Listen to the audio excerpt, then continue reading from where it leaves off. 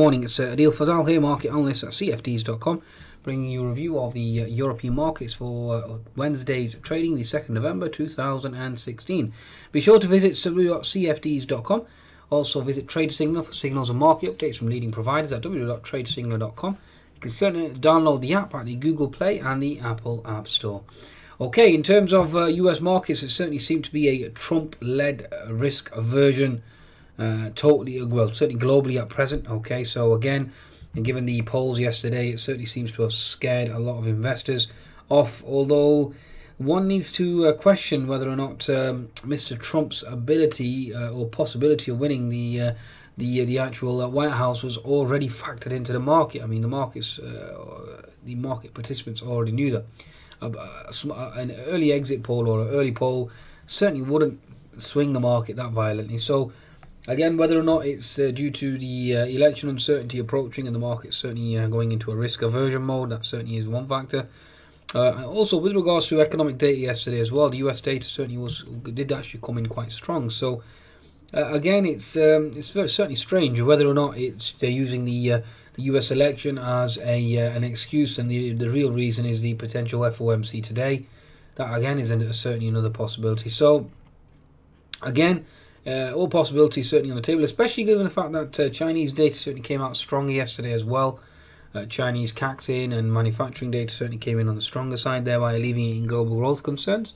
Okay, so uh, and US data certainly came in stronger as well.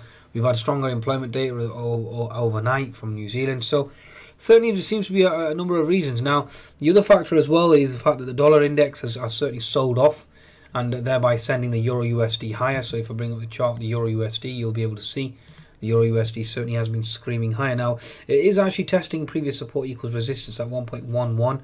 Uh, you got 1.1120, that's going to be a key resistance zone for the Euro USD. If you bring up the Fibonacci retracement, take the pivot high to the pivot low, and you are into that fib 650%, sorry, into that fib 50% and then 61% is at the 1.1110. So if you do get to 1.1110, I'll certainly uh, more than happy to short you. I've attempted to short this morning. I've certainly been stopped out.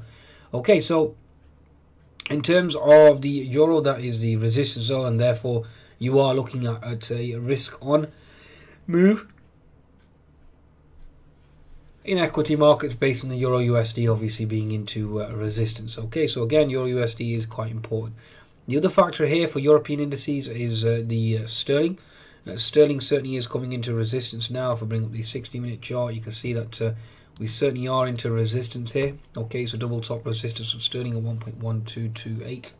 Okay, so post Mr. Carney's uh, confirmation that he'll stay on until 2019 certainly has helped sterling to a large extent. Now, this morning, economic data wise, Asian markets, first of all, certainly are negative overnight as as one would expect given the uh, US market sell-off. Now, uh, the European data this morning certainly has come out stronger than expected, thereby negating negating the uh, the actual uh, bearish news from the US uh, market. So you've had uh, this morning in terms of unemployment data certainly stronger than expected. German employment, okay, and PMI data market the PMI data is certainly coming in uh, on the uh, stronger side as well. So Germany 9, Euro EU, uh, EU, PMI certainly coming in slightly stronger, whilst the uh, the French as well certainly coming in stronger as well. So, like I said, multiple reasons for the markets to negate. Also, the UK uh, PMI construction data certainly come out stronger than expected. So you are looking for multiple reasons here to actually trigger a short squeeze. That's the conclusion. Okay. So uh, from my perspective, I'm certainly biased long and uh, looking for a short squeeze higher. Okay.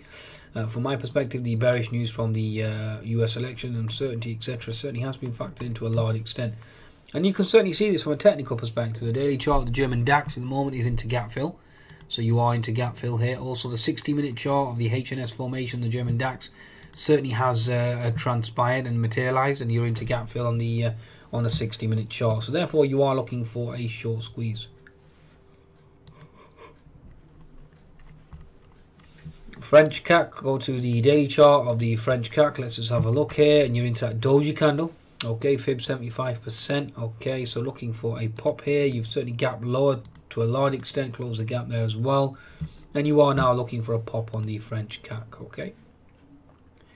FTSE 100, let's just bring this up for you. Let's go to the daily chart first of all. Daily chart certainly a slightly worrying sign given the fact that uh, we've actually uh, broken above the uh, key uh, resistance equals support zone. So again, certainly a cause for concern. Okay, the daily chart at the moment you are holding that fib 50 to 61, or should I say 61 75 percent, and given the fact that uh, sterling is a potential double top also, with regards to oil, you certainly have oil coming into potential support now as well. If I bring up a chart of uh, Brent.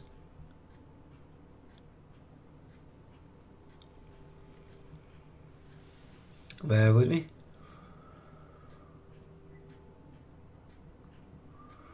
Okay, well, I don't have Brent at the moment. I've certainly got the um, US crude, and you are certainly slamming into that 200 MA. So you're certainly looking to pop here, given the fact that you've paid the 200 MA on the uh, on the actual uh, price of crude oil, and Brent certainly is into support as well. So FTSE 100 certainly looking for a bottoming tail here, starting to reverse or look for a potential reversal. Any reversal will be capped at 6920, um, 6930, so certainly keep an eye on there. If oil prices really start to move higher, then the FTSE will crack that 6930 zone as well. 10 minute chart, you're basically just consolidating here for the next potential move. Last but not least is the Euro Stoxx. Okay, Euro Stoxx daily at the more 60 minute chart. HNS formation complete. And now looking for the market to certainly short squeeze. Okay, and uh, the 10 minute chart certainly has an unfilled gap here at uh, 3025. And that would be the potential target 3025 on the Euro Stoxx Okay, folks. Okay, so again, keep an eye on the euro. Certainly, euro into resistance, looking for a reversal now and therefore looking for the weaker euro to help European exports or European exports and European equities to move higher. On that note, wish you farewell. Be, please be sure to visit cfds.com for your trading needs. Goodbye now.